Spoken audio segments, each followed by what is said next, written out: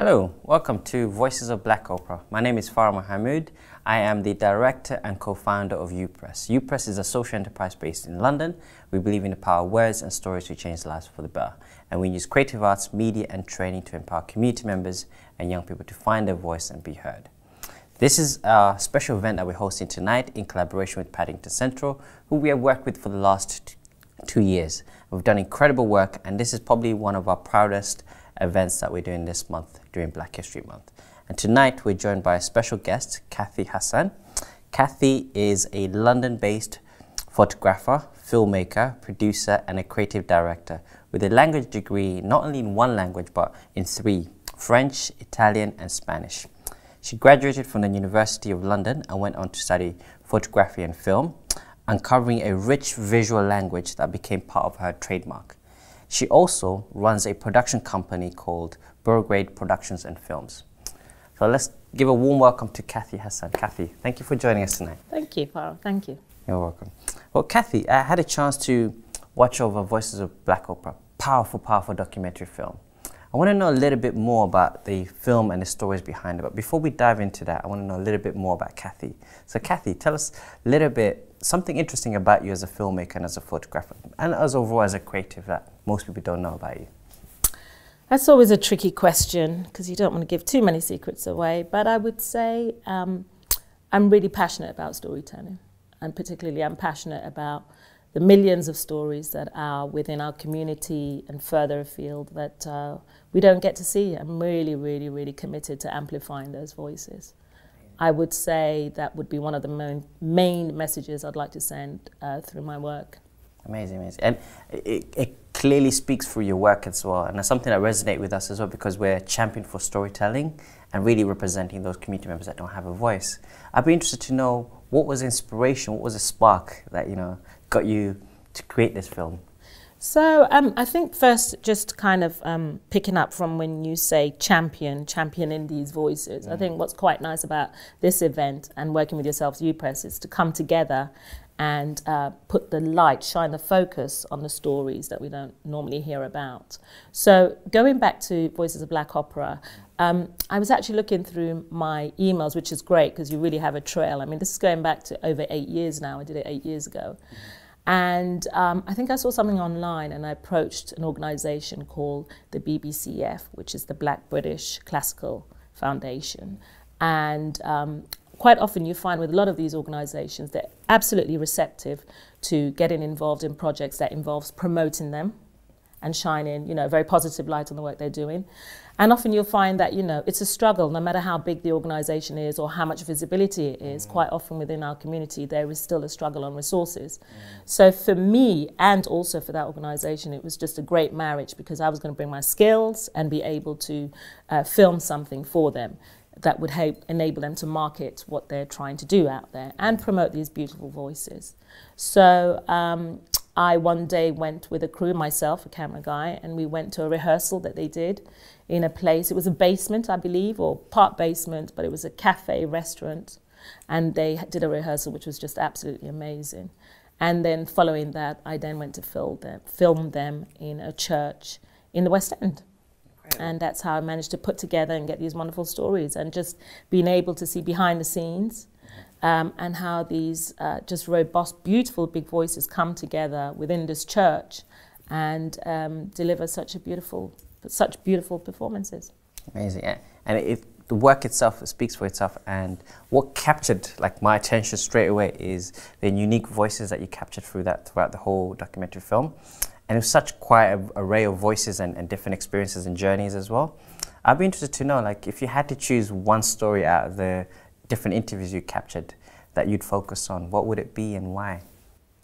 Do you know, I've never really looked at it that way because I think they've all got very, very different stories. I mean, one of the things about us as a community, um, and that, by that I mean people from the African and the Caribbean diaspora um, and wider, is that we tend to be seen as kind of monolithic, so just one voice. Mm. Um, and I think that's what you picked up. Everyone has a different journey, a different story, different experience. It's a whole multitude of different, beautiful collections of experience. So I wouldn't say there's one particular one that I came away and thought I would like to expand more into that. Mm. Very interesting. Thank you for that, Cath. And also, I'd be interested to pick your brain a little bit more, especially you know as we celebrate Black History Month and all around voice representation and the diversity of you know UK and Britain. How important, I would interested to hear your thoughts, is how important is accurate representations of those community members? Like in this case, we're looking at black operas that are sometimes not seen or heard. I think, I think I'm, I'm not so sure I'd go for the word accurate. Mm -hmm. Don't want to censor dialogue, but I think authentic is probably what I would want to put out there, which is, um, you know, this is their space. It's a mm. platform for them to be able to tell the stories. They are the owners, the creators of their stories. So I think it's very important. Uh, we don't get a lot of that quite often. The stories are taken and they're either sensationalized, bastardized, denigrated, or just twisted to fall, uh, to fall in place with certain narratives. Mm uh, whether they're political, social, cultural narratives. And quite often they can eventually, in time, not necessarily just at that point, but hinder impact on the authenticity of the story. So for me, it is also more than anything else about authenticity. Amazing, amazing. And you, so you're from West London, isn't it? You're from yeah. West London. I, I was born in uh, Porto, just off Portobello Road, so I am uh, Notting Hill. Amazing.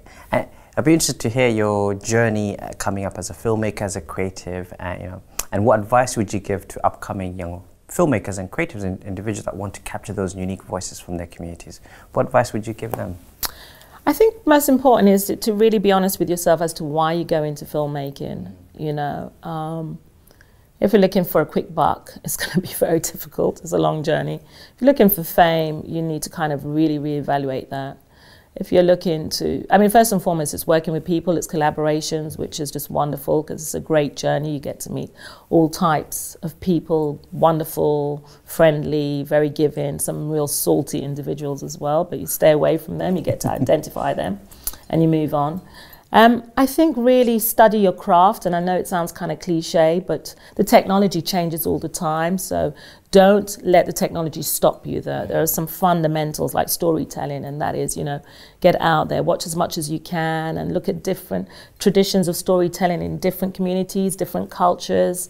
Um, but there's some basic fundamentals, um, and one of them is don't be afraid to ask questions. I think that's be curious curious about what you want to do, and also allow yourself to fail. Mm. I mean, all great work has come from failure. It's sure. it's impossible to, um, and don't feel intimidated. Um, and if you have an idea, research. Research is so important.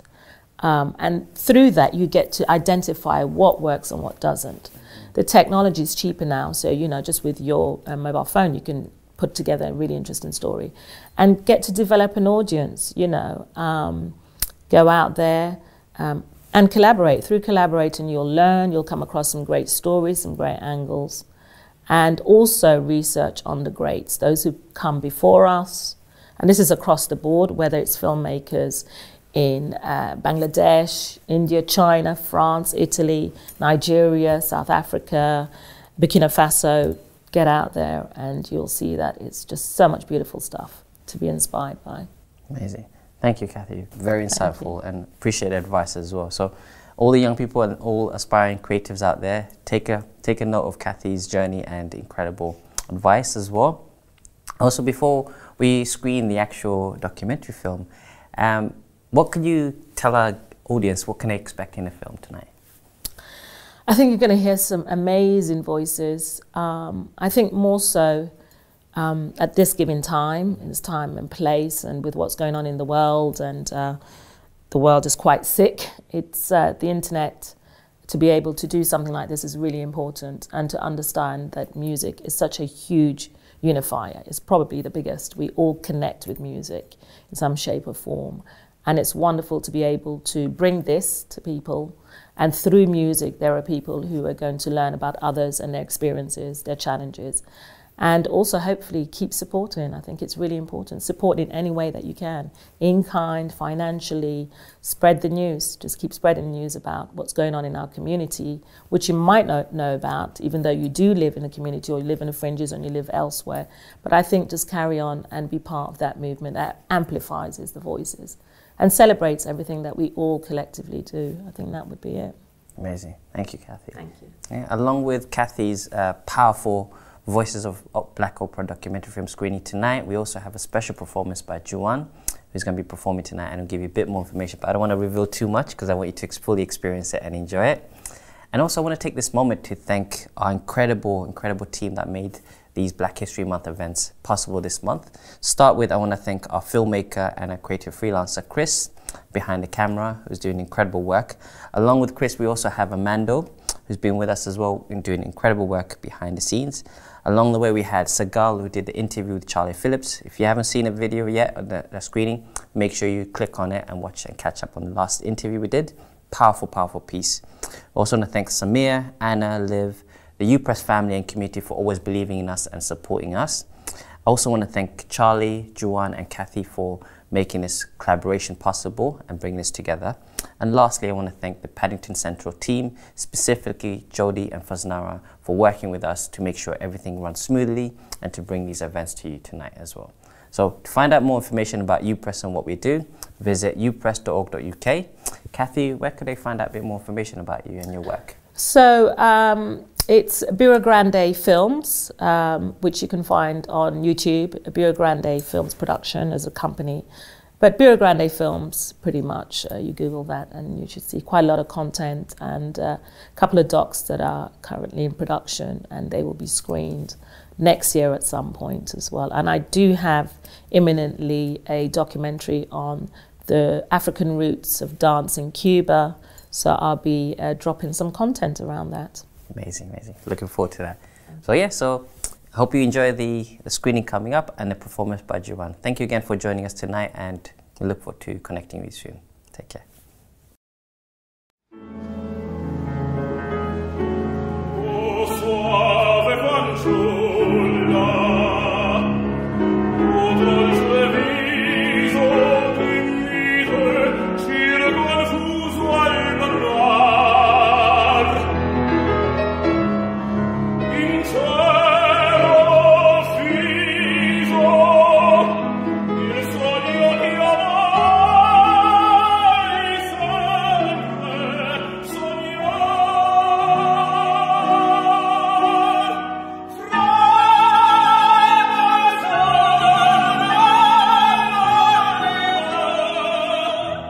Is a myth to say that black British people have no appetite for classical music. Contrary to popular belief, Black Britain can do high art, and not just popular. Black operatic singers are virtually unheard of. When we think of a tenor today, we name Russell Watson or Placido Domingo. Yet only several decades ago, the world's most recognized black man was the American singer, actor, political activist, and tenor Paul Robeson. People of African descent have long been involved in classical music as creators, interpreters, and performers. A number of renowned singers from William Warfield to Jessye Norman have made their mark in the world of opera. However, black artists singing opera still tend to be discriminated against.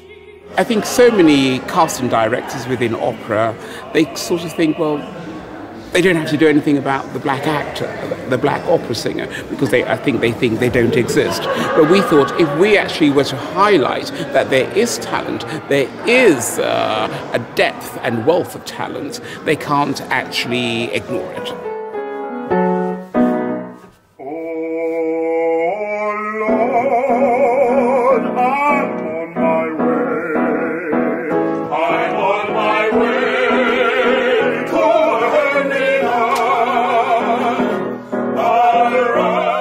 To be an opera singer was quite a difficult journey for me, I have to say. Um, it's not something that was, I wouldn't say respected, but more so known. It's that sense of um, knowing about it and appreciating it in our community.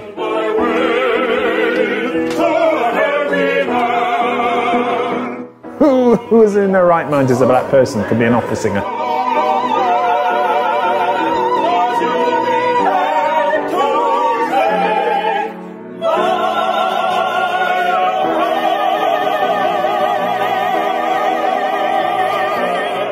I was very lucky because I grew up in Trinidad in the West Indies.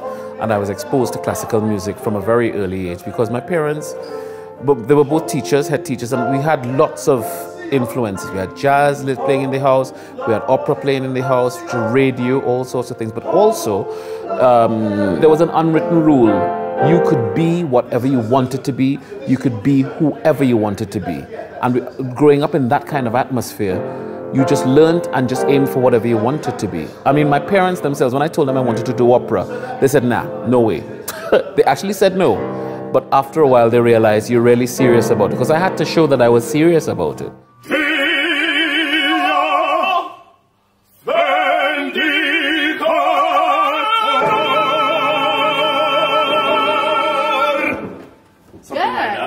I think it was more sort of self discovery.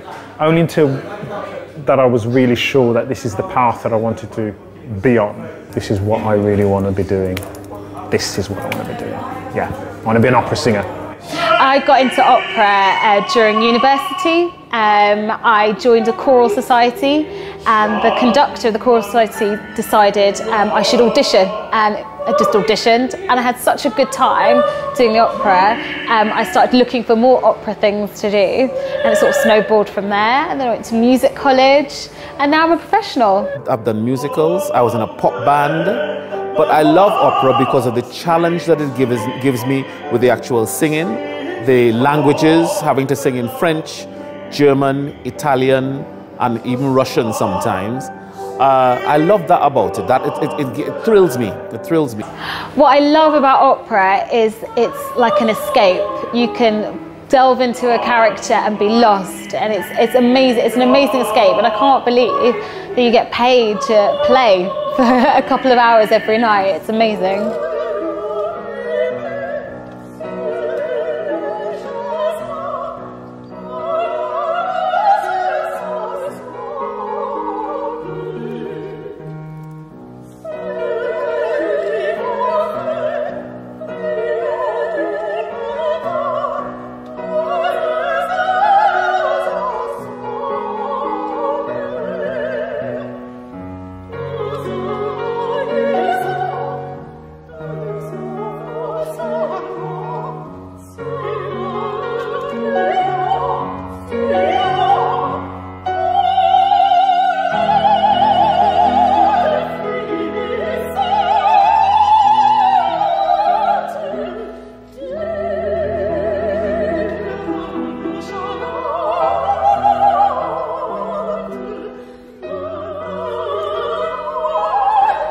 To the woman on the street or the man in the boardroom who says, Why don't black people like opera?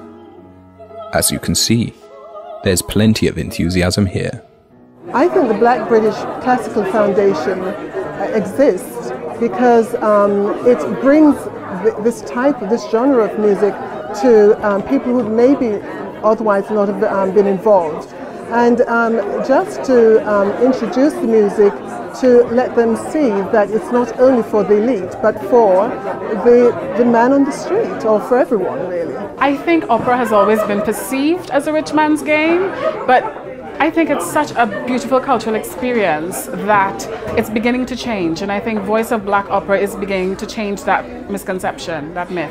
Um, we are an inclusive society. We want everybody to enjoy the same sort of things, and there's an enormous amount of musical talent and dramatic, dr dramatic talent in our minority communities. Black people have so much to give to this art form, but they're not going to do it unless they know more about it, unless they engage. People coming to our organisation and coming to our concerts are predominantly black. Right tonight, it's about, what, 95% black. Now, that's just because they know they are welcomed. They know that we've actually made an effort to find them, to bring them in. At the Royal Opera House, they don't care.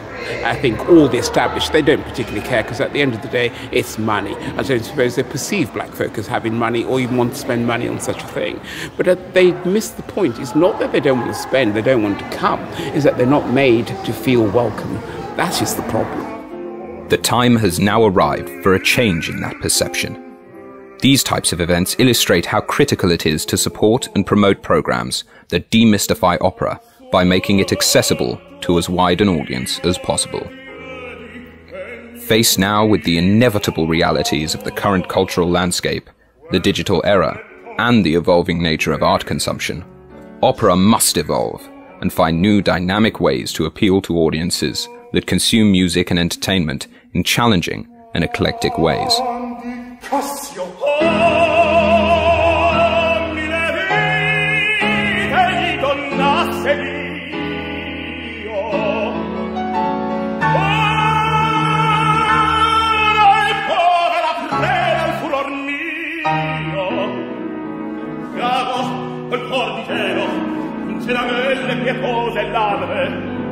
Tutto il amore al cielo guardami e nelle sue spire d'angue ma sangue sangue sangue Driven by the desire to keep operatic music in all communities and schools, the BBCF works tirelessly in presenting excellence among all classical singers and provides a platform that encourages and embraces new audiences. More and more so, opera is beginning to detach itself away from the mainstream community, you know, mainstream education. And, you know, children aren't really exposed to music and singing in general. So I'm always passionate about bringing, you know, that sort of medium into schools. And I do that. I do that as a workshop leader and I go around to various schools bringing my art form.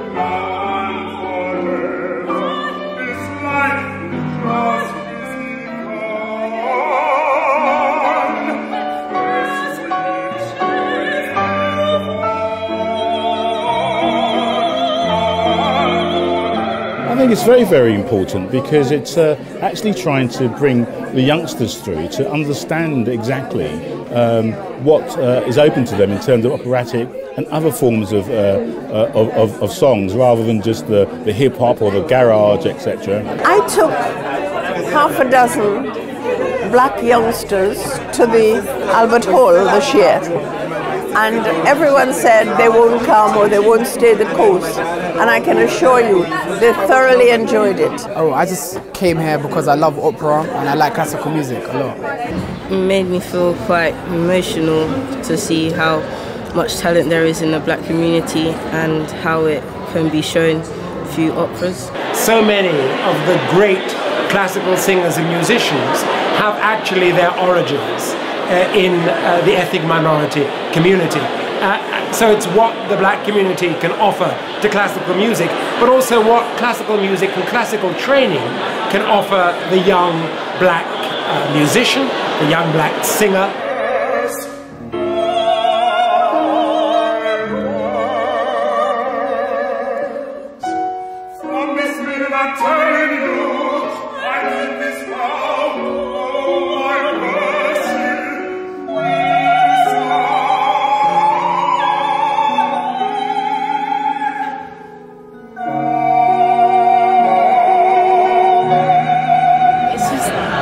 so people, so younger people, young generation get into it and just enjoy it because it's not really out in the market as much as it's needed to be really.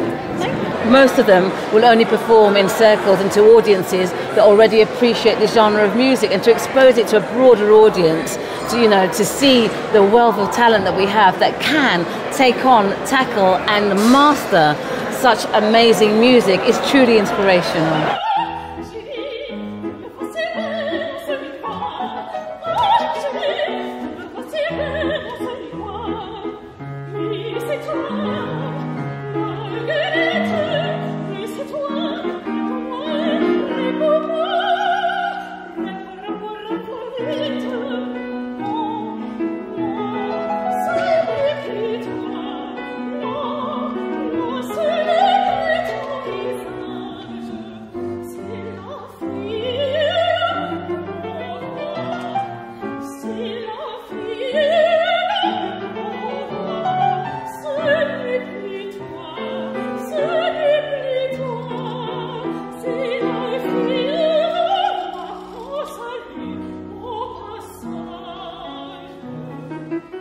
The very essence of opera's survival as an engaging art form lies in its ability to recognize, embrace, and support diversity. It's a wonderful thing that we have oh, uh, such a marvelous array of fantastic opera singers in the midst of Mayfair doing their thing, if you know what I mean. It's, it's, it's great to raise the awareness of black, opera, black British opera singers.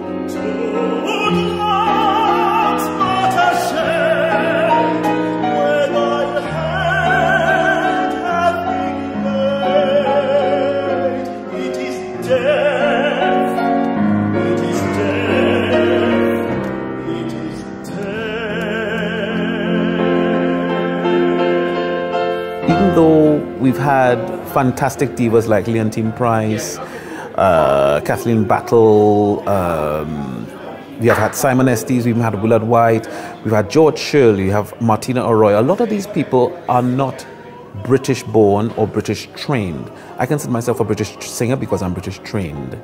And all these people here are British trained and, and British born as well. We need to expose these people, and there are very many of them singing at very high levels of, of um, the art in and around the world, and we don't know them enough in this country, unfortunately. I think this competition is brilliant because it gives a, a, a, platform for young black artists and Asian artists from ethnic minorities to perform um, on a really big scale. So it's great. You know, the arts is for all. The arts transforms, it eduta- entertains, it educates, it inspires, and that and that is for everybody. It's across the board. And we have talent in our communities that can do that, but they don't have the platform to be exposed you know, to be appreciated. And if it takes something like the Black Classical, um, Black British Classical Foundation to do that, then so be it. Our aim is that we should actually end up a competition very much like uh, Cardiff Singer of the World. On the other hand, we should be working to a point when we don't have to have a competition because an, an, an opera singer will be an opera singer regardless through its colour. But at the moment, you still have to fight that battle to say that we are singers, we happen to be black, but we can still perform to the highest level and we should be given the opportunities and the roles.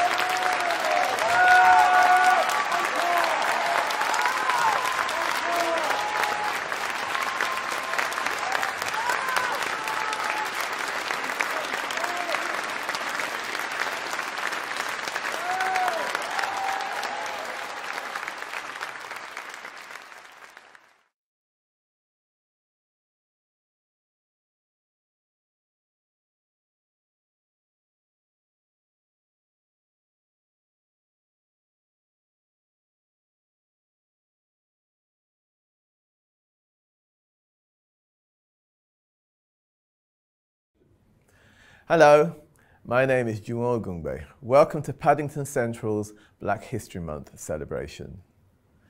I'm going to perform some songs for you today, and the first one is by Ignatius Sancho, and it's called Anacreon Ode Number 13.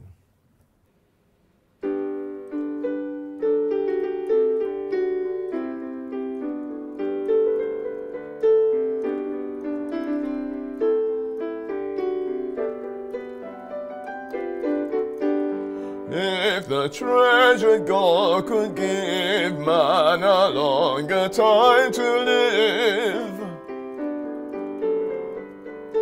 I'd employ the utmost care still to keep and still to spare. And when death approached, would say, Take thy fee and go away. Take thy fee, take thy fee, take thy fee and go away.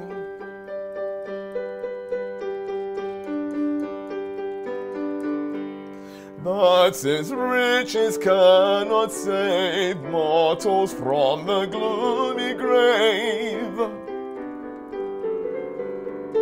why should I myself deceive, vainly sigh and vainly grieve? Death will surely be my lot, whether I am rich or not, whether I, whether I, whether I am rich or not.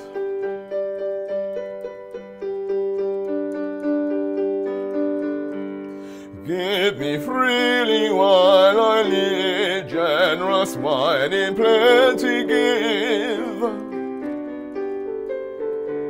Soothing joys my life to cheer, beauty kind and friends sincere. Happy will I ever find friends sincere and beauty kind, friends sincere, friends sincere, friends sincere and beauty kind.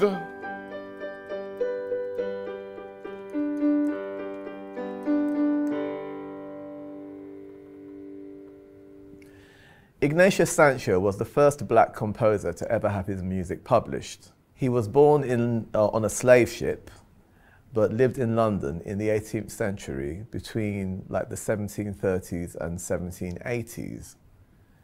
His childhood was, childhood was sad because he was living with, as a slave, working for three sisters who treated him badly.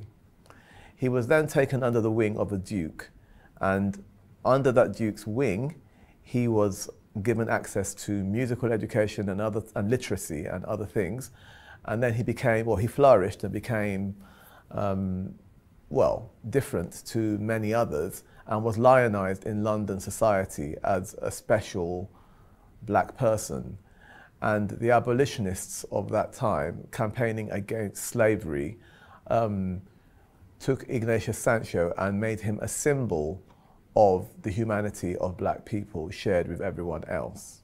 He also made friends with David Garrick, who was a renowned Shakespearean actor at that point in time, who wrote a series of poems in praise of William Shakespeare.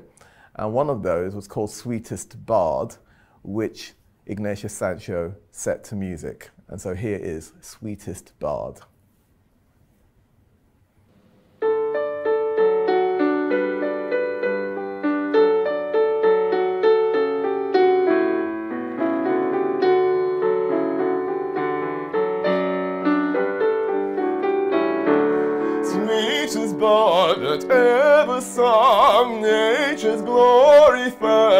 Child. Sweetest bard that ever sung, nature's glory fancy's child. Never sure did witching tongue, never sure did witching tongue, never sure did witching tongue. Warble forth such wood notes wild, warble forth such wood notes wild, warble forth such notes wild.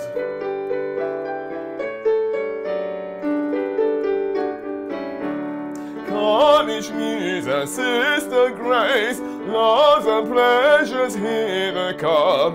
Cornish muse and sister Grace, loves and pleasures hither comes.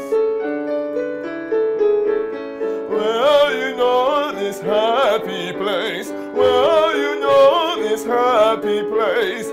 Well, you know this happy place. Avon's banks were once your home. Avon's banks were once your home. Avon's banks were once your home.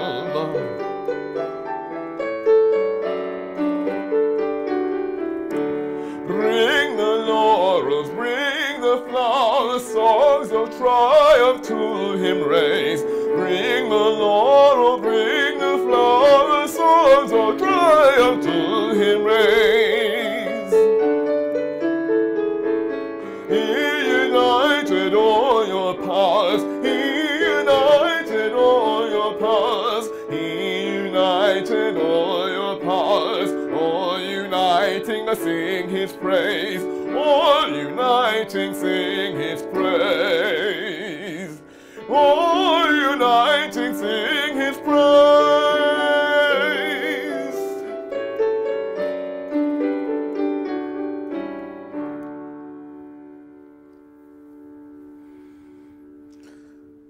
And so, the next song I'm going to sing for you is called Deep River. It's an African American spiritual. And the African American spirituals are traditional songs that became well known. They emerged from the era of slavery in the United States of America. The Fisk Jubilee Singers were a group of university students who were the first to make these songs well known through traveling around in the, in the USA and also other countries performing the songs. Um, so a bit further down the line, in the early to mid 20th century, classical singers such as Marian Anderson, who was a, a contralto, um, included Negro spirituals or African American spirituals in her repertoire um, in concerts. And then Paul Robeson, who was well known as an actor as well as singer and activist, um, also included this particular song in his repertoire. So here is Deep River.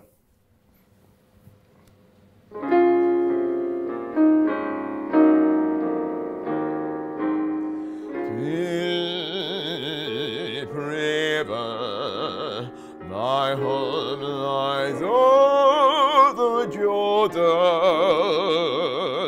Deep river, I want to cross over into campground. Oh, don't you want to go to that gospel feast, that promised land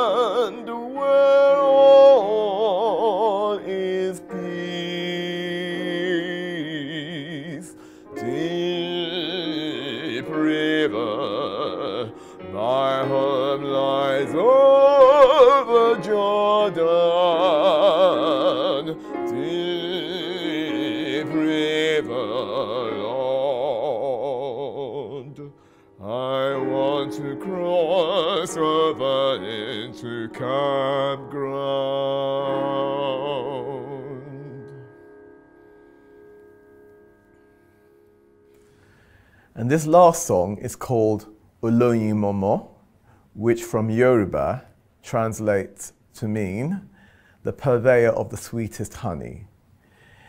It came from a piece that I composed, um, a show called Threshold, which was inspired by The Palm Wine Drinker. The Palm Wine Drinker was a novel by Amos Tutuola. Amos Tutuola was one of the earliest African authors to become internationally renowned. And in this particular instance, what's happening is there's a palm wine tapper whose wife has departed to the spirit world. Her name is Oloyin Momo, and the palm wine tapper is pining for her to return from the spirit world.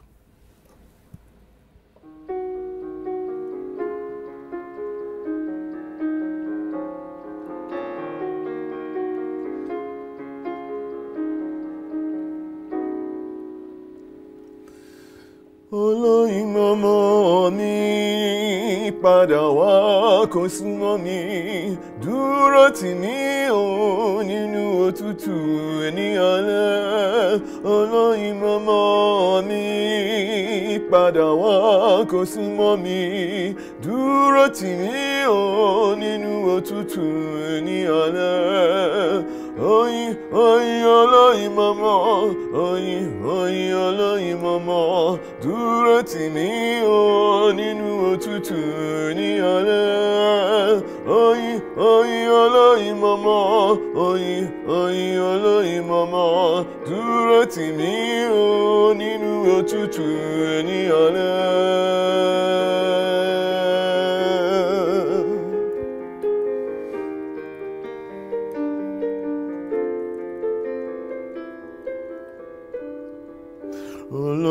Olóyin mọ́mọ́ mi padà wá kó súnmọ́ mi dúró tì mí o nínú ní alẹ́ olóyin mọ́mọ́ mi padà wá kó súnmọ́ mi dúró tì mí o nínú òtútù ní alẹ́ oyin oyin olóyin mọ́mọ́ oyin oyin olóyin mọ́mọ́ dúró tì mí o nínú òtútù ní alẹ́ oyin oyin olóyin mọ́mọ́ oyin oyin olóyin mọ́mọ́ dúró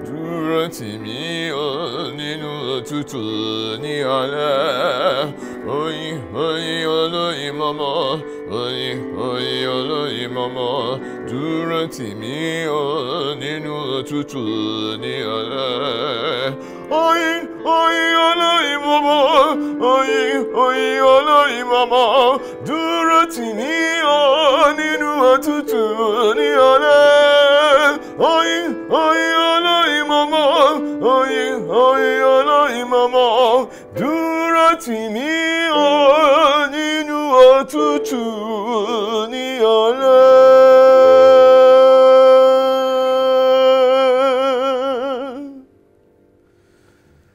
If you would like to hear more of my music, you can visit my website or you can check out my YouTube channels.